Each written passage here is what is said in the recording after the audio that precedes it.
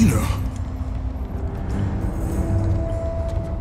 It's all right, Kratos. Remember your purpose, Spartan. Remember why you have come so far. Prepare yourself, Spartan. You know what you must do. I will raise the labyrinth. I will take her where she belongs.